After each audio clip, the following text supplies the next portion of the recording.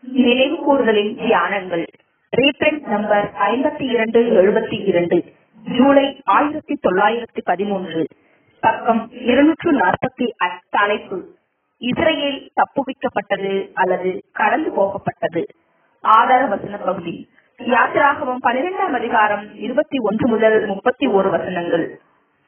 அப்படியே மனுஷகுமாரனும் ஊழியம் கொள்ளும்படி வராமல் ஊழியம் செய்யவும் அனைவரை மீட்கும் பொருளாக தம்முடைய ஜீவனை கொடுக்கவும் வந்தார். மத்திய இருபதாம் அதிகாரம் இருபத்தி எட்டாம் வசனம்.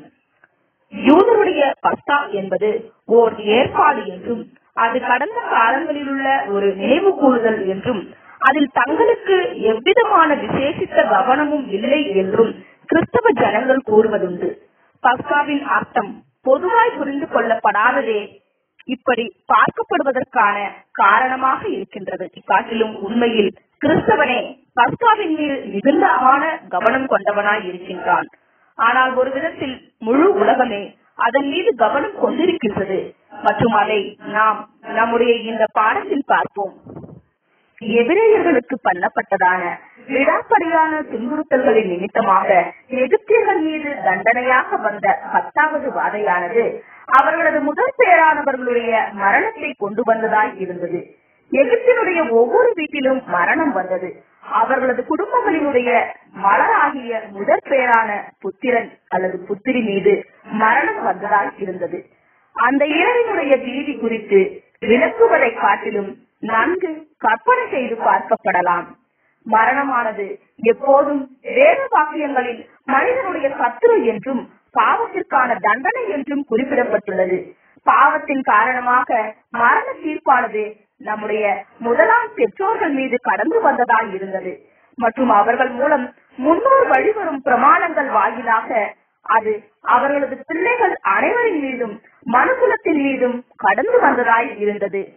நாம் அனைவரும் மறைத்துக் கொண்டிருக்கின்றோம். மற்றும் மரணத்திலிருந்து விடுவிக்கப்படுவதற்கான ஒரே நம்பிக்கையானது தேவன் நாம் மரணத்திலிருந்து விடுவிக்கப்பட வேண்டும் என்று விரும்புகிறார் என்றும் அநீதி உள்ளவர்களுக்கு பதிலாக நீதி உள்ளவராய் உள்ள இயேசுவினுடைய மரணத்தின் மூலமாக அவர் தம் நீதி திருப்திப்படுத்தப்படுவதற்கு ஏற்பாடு பண்ணியுள்ளார் என்றும் உள்ள உண்மைகளில் அடங்கியுள்ளது என்று வேதாகமம் தெரிவிக்கின்றது. பாவம் மற்றும் மரணத்திற்கான மாபெரும் தீர்வானது சீக்கிரத்தில் மனுக்குலத்திற்காக செயல்படுத்தப்படும் என்றும் வேதாகமம் கூறுகின்றதாய் இருக்கின்றது. மேசியாவினுடைய ஆளுகையின் போது மரண தண்டனையானது ரத்து செய்யப்படும். சாபமானது மாற்றி போடப்படும். மற்றும் அழுகையோ சஞ்சலமோ மறித்தலோ இருக்காது.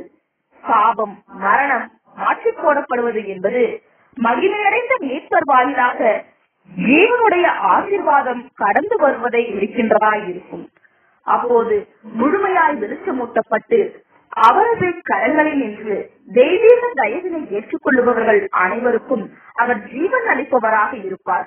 மனுக்குலத்தில் விருப்பமும் கீழ்ப்படுதலும் உள்ளவர்கள் அனைவரும் தகப்பனாகிய ஆதாமியுடைய மகிமையான பூரணத்தினிடத்திற்கும் நித்திய ஜீவனுக்கான சாக்கியத்தினிடத்திற்கும் முழுமையாய் சீர் பொருந்துவதற்கான உயிர்த்தெழுதலின் பணி ஆரம்பமாகும்.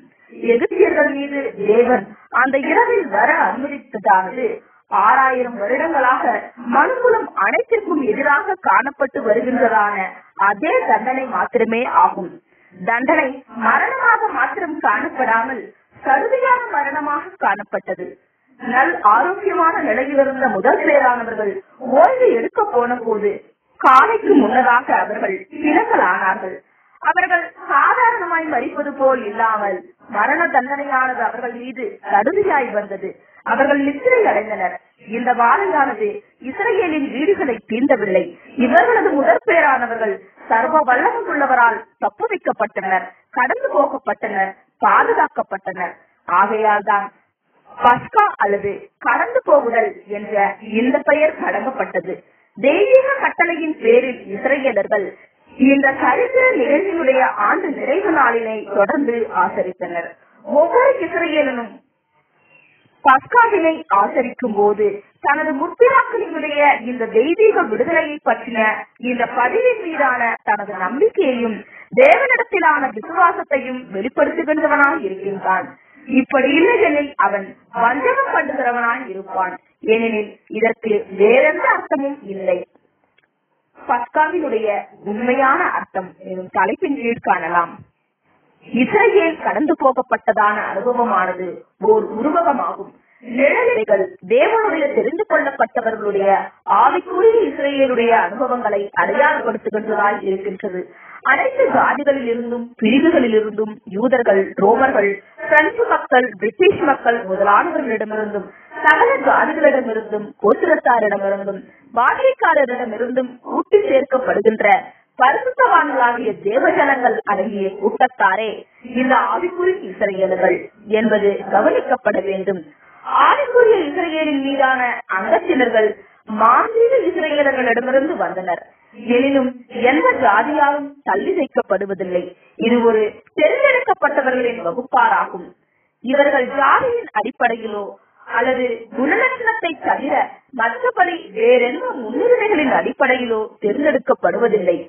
ஆவிக்குரிய இஸ்ரேலின் இந்த வகுப்பார் அந்த இரவில் கடந்து போகப்பட்டவர்களாகிய இஸ்ரேலில் அதாவது மாந்தீக இஸ்ரேலின் முதற் பேரான முதற் பேரானவர்களால் அடையாளப்படுத்தப்படுகின்றனர். அடுத்த நாள் காலையில் இஸ்ரேல் அனைத்தும் முதற் பேரானவர்களுடைய தலைமையின் கீழ் வெளியேறினார்கள். இந்த முதற் பேரானவர்கள் பிற்பாடு ஆசாரிய கோத்திரத்தில் அடையாளப்படுத்தப்பட்டனர். இந்த ஆசாரிய கோத்திரத்தார் மகிமையடைந்த மெசியாவை ராஜரீக பிரதான ஆசாரியனாக பெற்றிருக்கும் ராஜரீக ஆசாரிய கூட்டத்தாரை அடையாளப்படுத்துபவர்களானார்கள். அவரும் அவரது முதற்பேரானவர்களின் சபையும் அவரது உயிர்த்தெழுதலில் அதாவது முதலாவது அல்லது பிரதான உயிர்த்தெழுதலில் பங்கடைவதன் மூலமாக சீக்கிரத்தில் மகிமையடைந்து தேவனுடன் இசைவிற்குள் திரும்ப விரும்புகின்ற அனைவரையும் ஆசிர்வதிக்கின்றதான மேசியாவின் ராஜ்யத்தில் வல்லமையிலும் மகிமையிலும் நிறுத்தப்படுவார்கள். எதிரேயர் பனிரெண்டாம் அதிகாரம் இருபத்தி மூன்றாம் வசனம். கடந்த காலங்களில் வேதத்தின் மாணவர்கள் தேவனுடைய வார்த்தைகளை புரிந்து கொள்வதில் குறைவான வேகத்திலேயே காணப்பட்டனர்.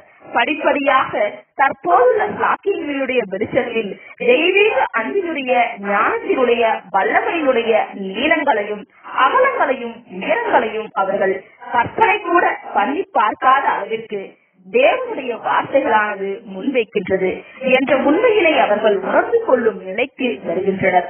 தேவன் முதற்பேரானவர்களின் சபை என்று பேசும்போது அவர் மற்ற குமாரர்களையும் கொண்டிருக்க நோக்கம் கொண்டுள்ளார் என்றும் இவர்கள் முதலாவது குமாரர்கள் மாத்திரமே என்றும் அவர் சுட்டிக்காட்டுவதாக இப்பொழுது வேதத்தின் மாணவர்கள் பார்த்து வருகின்றனர்.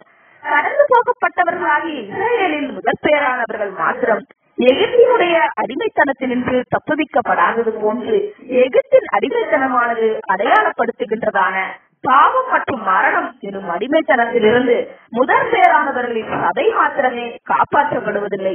முதற் பேரானவர்கள் காப்பாற்றப்படுவது என்பது நீதியானவர்களுடைய விடுதலையையும் சுட்டிக்காட்டுகின்றதாய் இருக்கின்றது.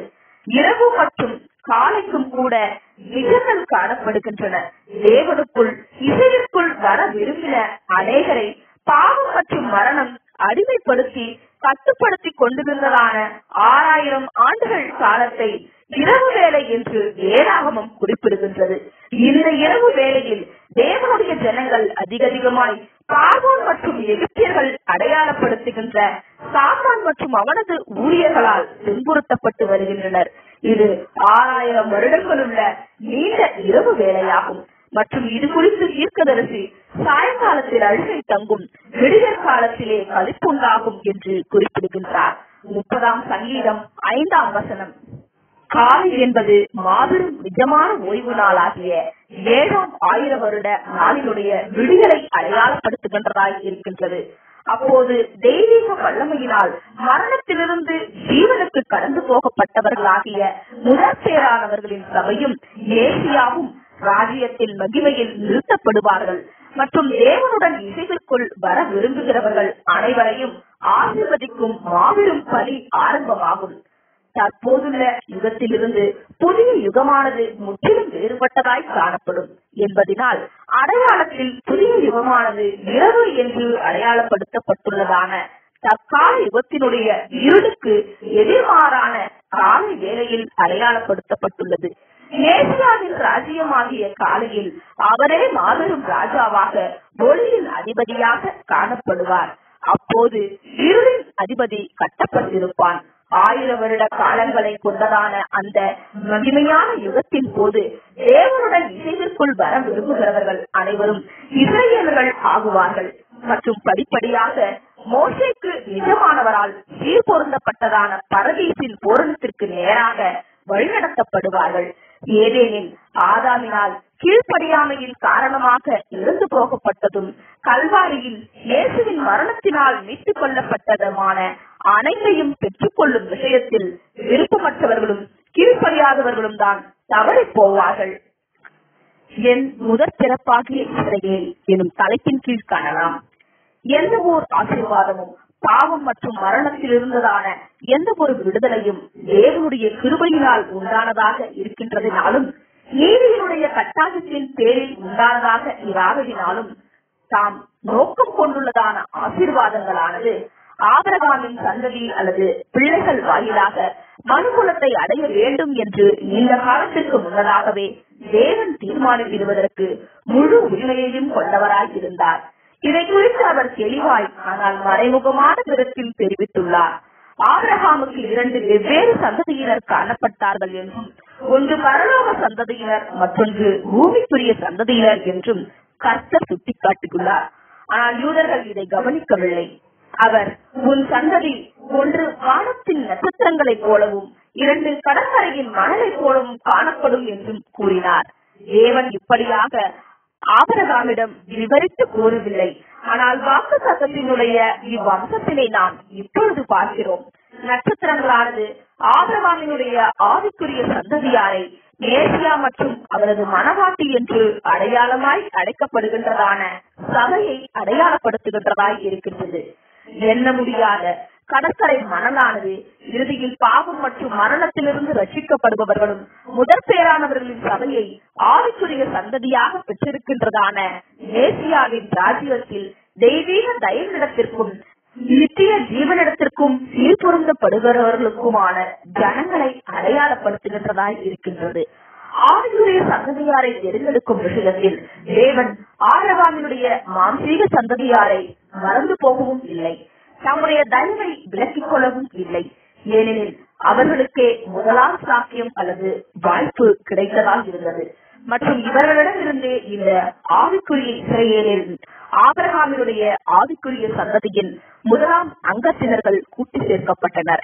இவர்களை குறித்து பரிசுத்த பவுல் நீங்கள் கிறிஸ்துவனுடையவர்களானால் ஆபரகாமின் சந்ததியாராயும் வாக்குத்தத்தின்படியே சுதந்திரராயும் இருக்கிறீர்கள் என்றார். கலாத்தியர் மூன்றாம் அதிகாரம் இருபத்தி ஒன்பதாம் வசனம். அதாவது ஆபிரகாமின் இந்த ஆவிக்குரிய சந்ததியார் வாயிலாக மனுக்குளம் அனைத்தும் தெய்வீக ஆசிர்வாதங்களை பெற்றுக் கொள்ளும் பாவம் மற்றும் மரணத்தினுடைய சாபம் நீக்கப்படும் என்று ஆபிரகாமுக்கு பண்ணப்பட்டதான வாக்கு தத்தத்தின்படியே சுதந்திரராக இருக்கிறீர்கள் என்றார். வெளிப்படுத்தல் இருபத்தி ஒன்றாம் அதிகாரம் நான்காம் வசனம் ஐந்தாம் வசனம். வெளிப்படுத்தல் இருபத்தி இரண்டாம் அதிகாரம் மூன்றாம் வசனம்.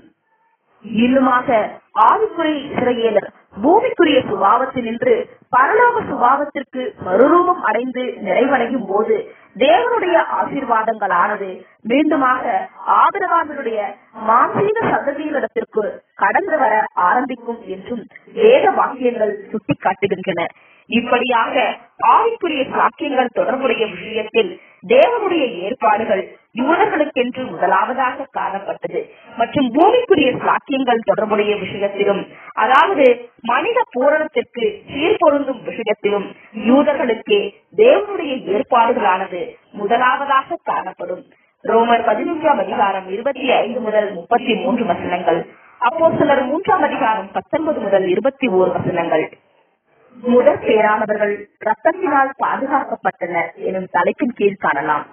இஸ்ரேலின் முதற் பேரானவர்களிடத்தில் பாராட்டப்பட்ட தெய்வீக கிருபையானது ரத்தத்தினாலேயே ஆயிற்று என்பதை கவனிக்க நாம் தவறிட வேண்டாம்.